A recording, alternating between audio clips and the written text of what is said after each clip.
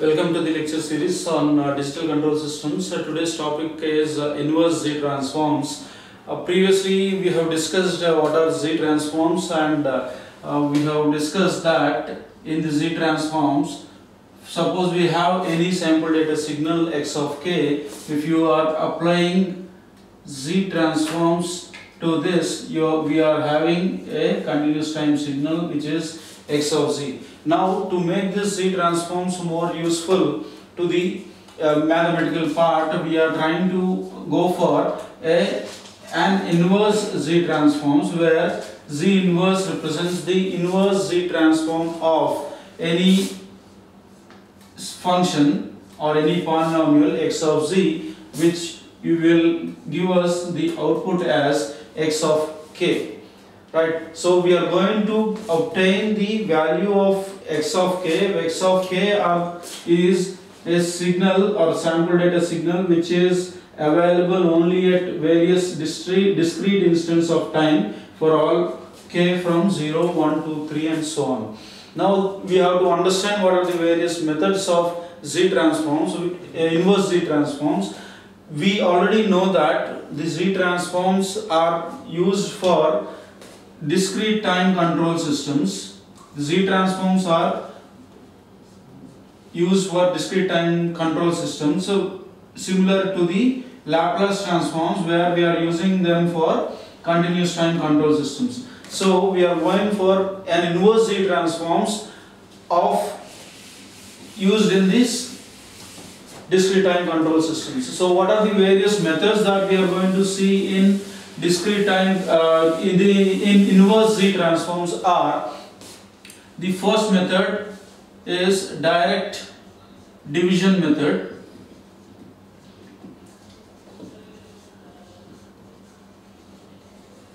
The second method it is the computational method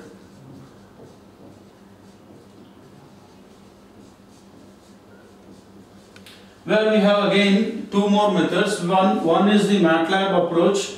You can say we are using MATLAB and we are trying to uh, write some equations or uh, programs in MATLAB which you can say it is MATLAB approach method which we will not be discussing in this lecture series because it is not it is not pertaining to the syllabus. Therefore, the other method is difference equation method this will be we will be discussing under this computational method of inverse Z transforms. Right. And the third method is the partial fraction expansion method. Partial fraction expansion method. And the fourth one we are going to discuss the inversion integral method So we will be discussing all these uh, four methods today in this lecture series. Uh, the four, well, the four different methods, the direct division method, the computational method, the partial fraction expansion method and the inversion integral method. So this is uh, how we are going to discuss and the first method which we are going to see is the direct division method and before going into this or discussing all these four different methods we are trying to see what are the poles and zeros, we try and understand what are the poles and zeros of x of z. Poles and zeros of x of z. x of z is the z uh, polynomial or a transfer function that is obtained from the by applying z transforms to x of k. That is z transform of x of k or kt is equal to x of z. You can say that this is nothing but sigma k is from 0 to infinity x of k z power minus k. Now x of z can also be of the form of b m z power m plus b m minus 1 z power m minus 1 plus so on plus b 1z plus b naught by z power n plus z power m n plus an z power n minus 1 plus an minus 1 z power n minus 2 plus so on plus a naught. You can write it in this form where m is less than or equal to n if you can write this equation. Now this is a polynomial form of representing a function x of z. Polynomial form of representing a function x of z. Now you can also write this in pole zero form. You can write it as x of z is equal to z minus z1, z minus z2, so on, z minus zm by z minus z a z minus z b and so on z minus z n and here also m is less than or equal to n. So you can divide this. This is a pole zero form of representing a pole zero form of representing any function x of z. So now if I consider the poles and zeros of x of z, now you can see the denominator factors when you are equating them to 0, you are getting the poles of uh, x of z and the numerator fa factors which are when you are equating it to 0, you will get the zeros of x of z. Now if we are having a function of this form, let us say we are having x of z is equal to z into z minus 1 by z minus 2 into z minus 3. Now we can say that we are having zeros at z is equal to 0, z is equal to 1 and poles at z is equal to 2 and z is equal to 3. Now if we can also represent x of z in terms of in z inverses. That is if I can convert x of z here by applying inversion here that is if I take z and also consider z z is here and this z if I consider it here 1 minus 1 1 minus z inverse. That is z minus z inverse into z gives us 1 similarly you can consider z into 1 minus 2 z inverse. Again z into 1 minus 3 z inverse. Right. So if I cancel out these z and z and z and z then you will be having 1 minus z inverse by 1 minus 2z inverse into 1 minus 3z inverse. Now this is also in the form of pole zero form, right? But when we are looking at this, the factor here, a, pole, a zero at value 0, this is z is equal to 0, is not visible here in this representation. Therefore, the beginners will try and find it difficult at the start of their uh, understanding Z transforms. So, it is better always for us to go with this type of representing Z transforms. Normally, when you are going for inverse Z transforms or Z transforms, you can always use any of these two forms. The Z, Z inverse form of representing or the Z form of representing. You can use Z in the numerator and denominator or you can also use Z inverse in the numerator and denominator. But you should be in a position to identify what are the various poles and zeros that are existing in the given system. So with this in mind we can go we can now say that the Z inverse Z inverse is nothing but a unit delay operator. Unit delay operator. Now when you are going for inverse Z transforms, inverse Z transforms, the representation goes like this. A capital Z inverse. This is small z inverse. This is unit delay operator and this is capital Z inverse which is the inverse Z transform of any function. So we are with this in mind, we will now try and understand what is the first method of inverse Z transforms which is the direct division method. direct division method of inverse Z transforms. Now in this direct Z trans is direct division method, first thing Z transform of x of k is x of z which is nothing but sigma by definition k is equal to 0 to infinity x of k z power minus k. When I try and elaborate this into infinite power series, I will get x of 0 plus x of 1 z inverse plus x of 2 z power minus 2 plus x of 3 z power minus 3 plus so on.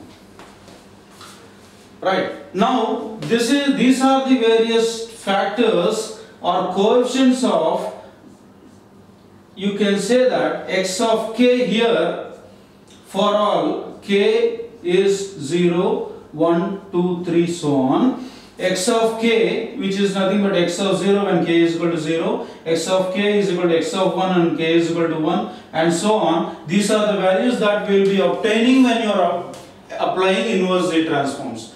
Right? So that is when you are having x of z when you are applying z inverse the inverse z transform for x of z you are going to get x of k those are the values you are going to get x of 0 x of 1, x of 2, x of 3 and so on up to infinity. Right. So direct division method will be obtained when you are trying to get several first parameters, the first several parameters of the coefficients of the inverse z, z inverse or z power minus 2 or z power minus 3. Right, first several parameters, they are only sufficient for us to work on, then you can go for direct division method. So we are trying, we will try and understand how we are going to apply this method, the direct division method. For example, let us say x of z is equal to 1 by z plus 1. 1 by z plus 1. So what is this? If I have, if I try and take z common here, so I will get 1 by 1 plus z or I can write 1 by z into 1 plus z inverse and this 1 by z also gives us gives me z inverse by 1 plus z inverse. So in this direct division method what we are trying to do is we are trying to convert any positive powers of z into negative powers of z. First thing, first and foremost thing that we'll have to do it in do in direct division method is you will convert the positive powers of z in both numerator and denominator of x of z into the negative powers of z in both numerator and denominator of x of z. Therefore, what are we having now? x of z is equal to z inverse by 1 plus z inverse. Now, by direct division, what we are trying to do? A division is of this form.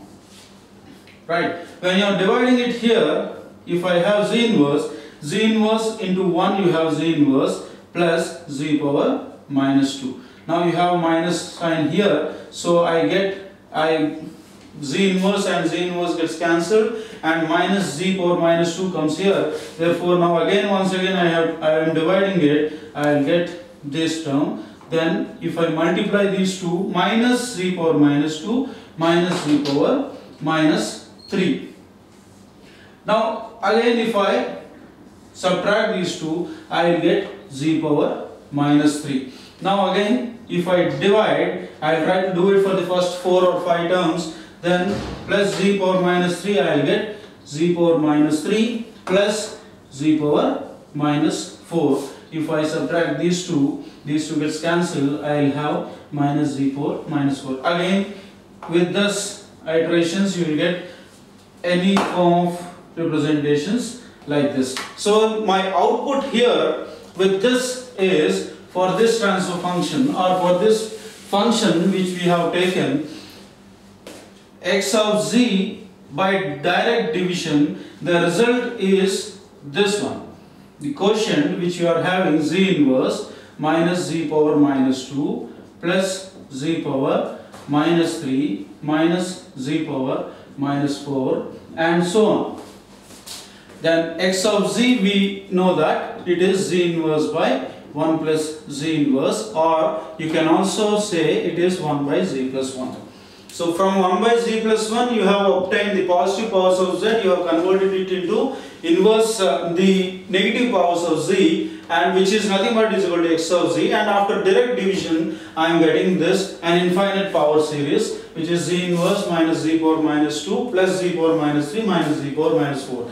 Now as for the by the by the definition of x of z or by the definition of the z transform which is nothing but z transform of x of k. What is it that we are having? Sigma k is equal to 0 to infinity. X of k z power minus k which is nothing but x of 0 plus x of 1 z inverse plus x of 2 z power minus 2 x of 3 z power minus 3 plus x of 4 z power minus 4 plus so on. Now you can try and inspect and get the values of what are the values of x of z here. Now z power 0. U doesn't have any z power 0 terms there. Therefore x of z 0 is equal to 0. You are trying to compare these two equations, equation 1 and equation 2. Now x of 0 is equal to 0 and x of 1 is equal to 1. X of 2 is equal to the coefficient of z power minus 2 it is minus 1 x of 3 we have coefficient of z power minus 3 it is plus 1 and x of 4 similarly you have minus 1 and so on. So these are the values. That is x of when you try to graphically represent these values graphically represent these values. You have this value x of k. You have 0 here and 0 1 at 0 x of 0 is 0 at k is equal to 0 x of 0 is 0 at k is equal to 1 x of 1 it is 1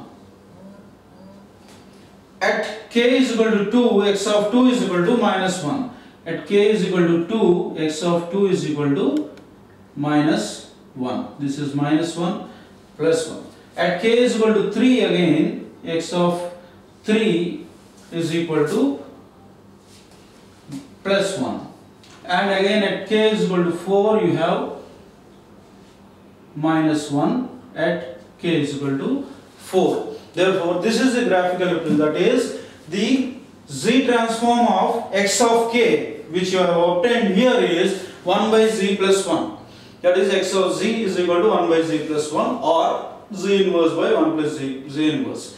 Right? Or if you are if you are applying inverse z transform the direct division method to 1 by z plus 1 you are trying to you are getting this value z inverse minus z power minus 2 plus z power minus 3 which can be represented in the graphical form in this method right. So this is about direct division method. Now we will try and understand what is the partial fraction expansion method which is the third method. The second method as i have already mentioned it is um, you have two different methods there matlab uh, approach and the differential equation difference equation approach where the difference equation approach we will understand it in detail with uh, in the next uh, lecture series. Then we will discuss the third method which is the partial fraction expansion method. Partial fraction expansion method.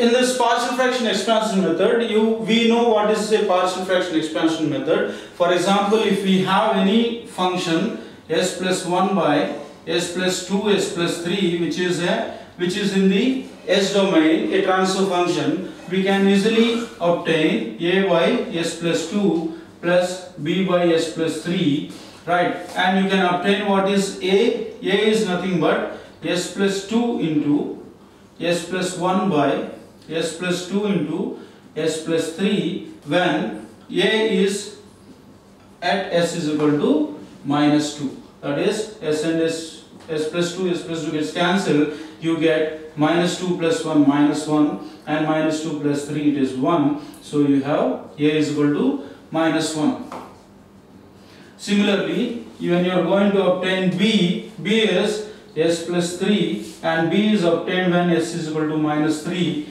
you have this s plus 1 by s plus 2 s plus 3 and s plus 3 when they are getting cancelled and, and you are replacing s with minus 3 you get minus 2 by minus 1 which is equal to 2 therefore this can be written as s plus 1 by s plus 2 s plus 3 can be written as minus 1 by s plus 2 plus 2 by s plus 3 so this is a partial fraction expansion method and you can apply inverse Laplace transforms to this. A similar procedure is applied or employed to find out the inverse Z transform in the Z transform method.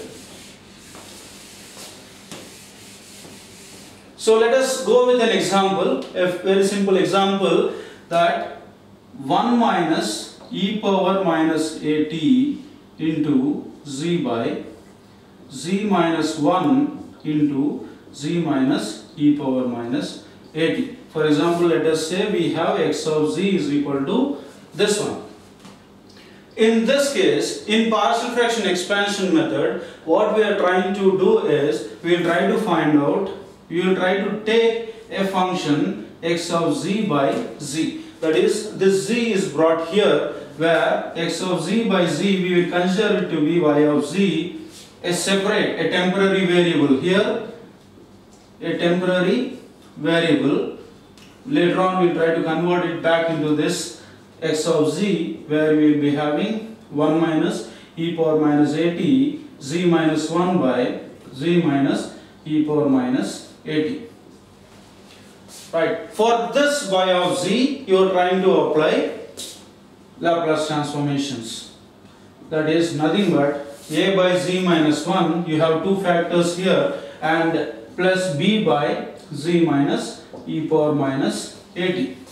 Now a can be obtained without any problem. a can be obtained when z is equal to 1 that is z minus 1 into 1 minus e power minus at by z minus 1 into z minus e power minus at.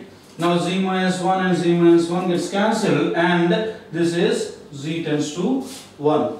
Now what is the value of a that we are going to get? 1 minus e power minus at by 1 minus e power minus at when you are replacing with 1. z with 1. Therefore you are going to get 1 for a.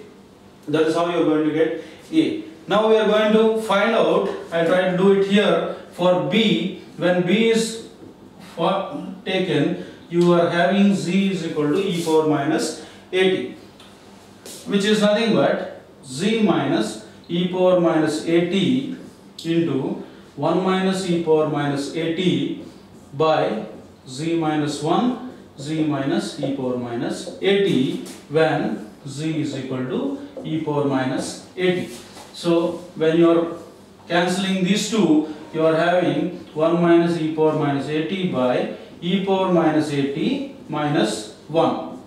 When you are having this, you are getting a term minus 1 because when you can changing the places here, minus 1 comes here and you take minus 1 common, you will get b is equal to minus 1. Therefore, this function x of z by z is equal to y of z, you are getting a as plus 1 and B as minus 1. B as minus 1. So, what are the now if you consider these two equations x of z by z is equal to 1 by z minus 1 minus 1 by z minus e power minus at and cross multiply z then you have x of z is equal to z by z minus 1 minus z by z minus e power minus at.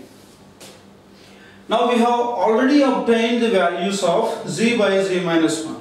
what is the function what is the z transform of a unit step function u of t a unit step function is a function which is for all time t you have the magnitude equal to 1 which is u of t.